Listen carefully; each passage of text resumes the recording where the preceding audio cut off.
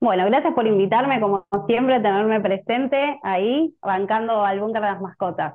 Bueno, yo volví ahora de Brasil, estuve viajando, así que estuve recorriendo mucho, conociendo lugares, con los pets, con los animales trabajando también, y vine con muchas ganas de que se fomente la peluquería canina, ya que sé que no hay, no hay capacitaciones acá en la costa, y hay mucha salida laboral, como dijiste, eh, tanto para trabajar en otros pets, tanto como para trabajar en casa. Así que está buenísimo.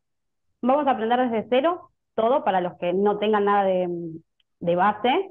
Y también estamos dando perfeccionamientos, que ya tengo hechos unos perfeccionamientos para gente que ya está trabajando en el ámbito, pero bueno, siempre los caniches, schnauzer, hay razas que llevan sus cortes, sus mantenimientos y no saben cómo optimizar los tiempos, las herramientas. Es, hay una gama enorme en este rubro. Siempre hay que capacitarse, así que viene de 10 para los que ya están acá también trabajando. Para la gente que por ahí le gustan los perritos, pero no sabe, bueno, cada raza de perro, obviamente hay algunos que le dicen, va, eh, puro perro, eh, sin raza, pero bueno, hay algunos perros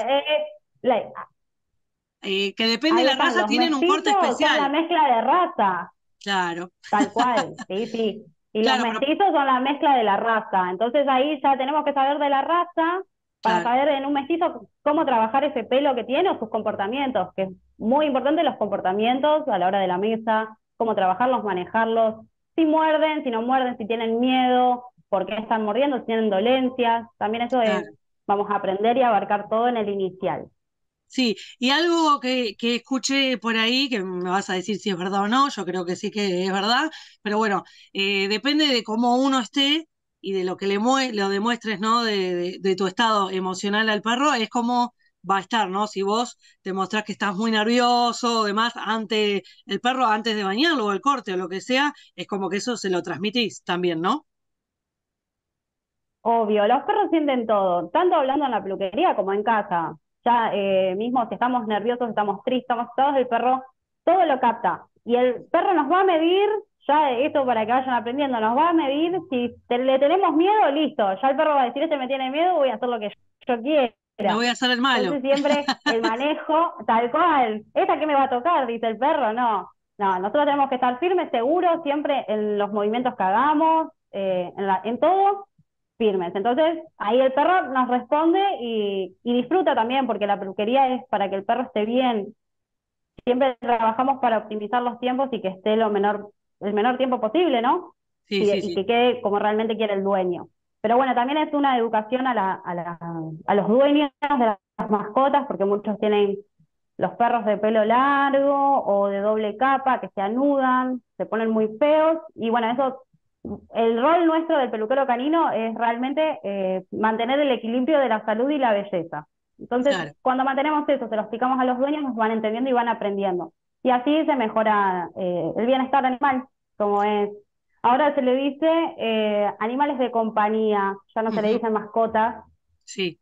Porque hay una gama muy grande de, de animales de compañía. Y bueno, ya mascotas se está dejando de decir y son animales de compañía, pero bueno, hay eh, peluquería hay para hacer de todo, a los gatos, a los cobayos, hay de todo aparte de los perros.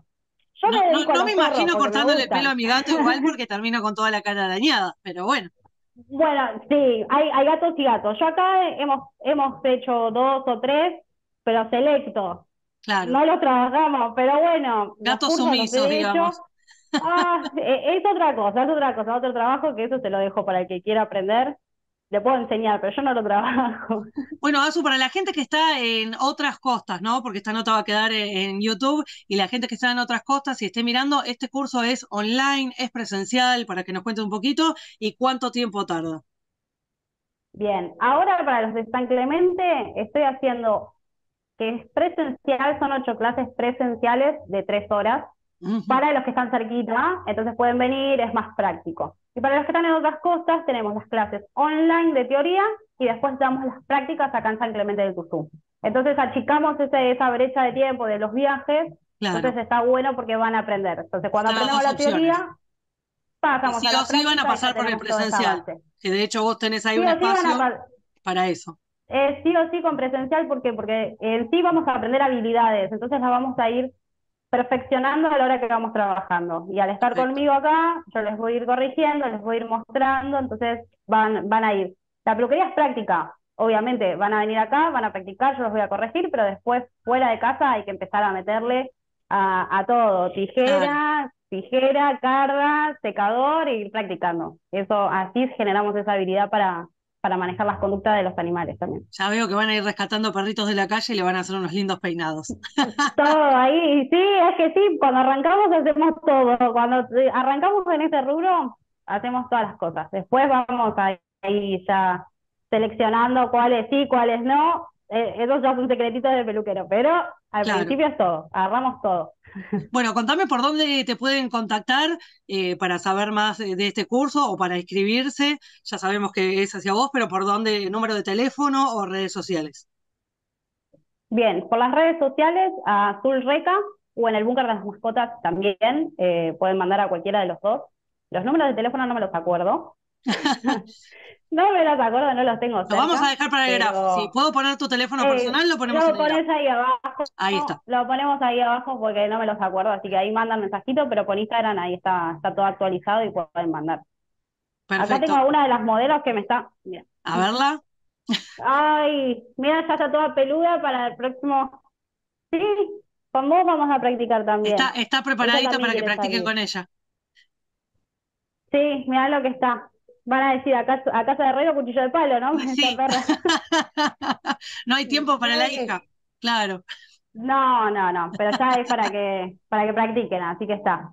Claro, y bueno, estábamos diciendo que tiene amplia salida laboral, pero bueno, uno si en su casa hay mucha gente que tiene varios perros y demás y no tiene la economía, digamos, como para poder llevarla todo el tiempo a, bañar eh, a su animal de compañía, como estábamos diciendo puede invertir en esto, hacerlo en su casa para sus propios animales. El día de mañana quizás obviamente pueda hacer hasta en su casa una salida laboral, pero bueno, puede servir para tus propios animales que tengas en casa y para que aprendas correctamente cómo bañarlos y cómo hacerle un lindo corte, depende de la raza y demás.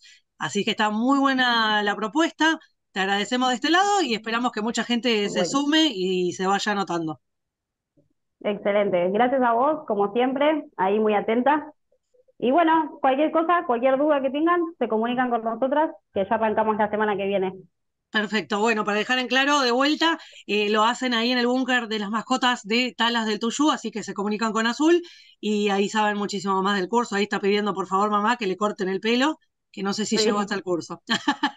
no, no, pobrecita. Gracias, Azul.